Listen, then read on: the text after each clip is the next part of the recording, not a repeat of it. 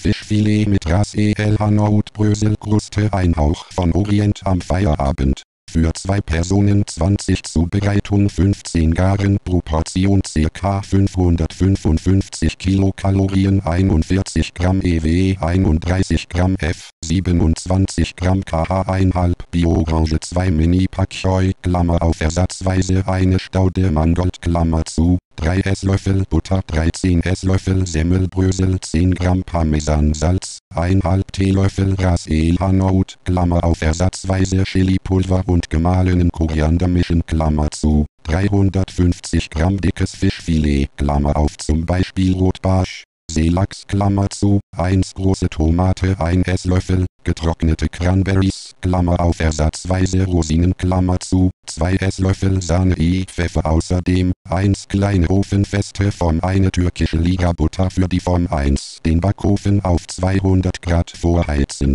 die Orange heiß waschen, abtrocknen und Schale fein abreiben, die Packheu waschen, die Strünke abschneiden, weiße Stiele in Streifen schneiden die Blätter in breitere Streifen schneiden. Während des Schnippelns schon gut 2 Esslöffel Butter in eine kleine Pfanne schmelzen. 2. Die Semmelbrösel in der heißen Butter ganz kurz anrösten. Inzwischen den Parmesan reiben. Die Pfanne vom Herd ziehen und etwas Salz, Ras El Hanout, den Parmesan und die Orangenschale untermischen. Die Form mit Butter ausstreichen.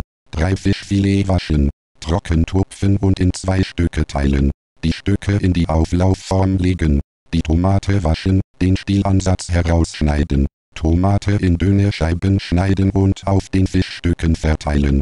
Bröselmischung darauf streichen und die Fischstücke im heißen Ofen Klammer auf Mitte Klammer zu, 10 bis garen. 4 inzwischen restliche Butter Klammer auf knapp 1 Esslöffel Klammer zu, in eine Pfanne erhitzen die Packscheustiele darin zwei bis andünsten dann die Blätter die Cranberries etwas Wasser und die Sahne dazugeben und alles noch etwas offen einköcheln lassen. Das Gemüse mit Salz, Pfeffer und eine Prise Ras El Hanout würzen. Packheu mit den Fischfilets aus dem Ofen auf zwei Tellern anrichten und genießen.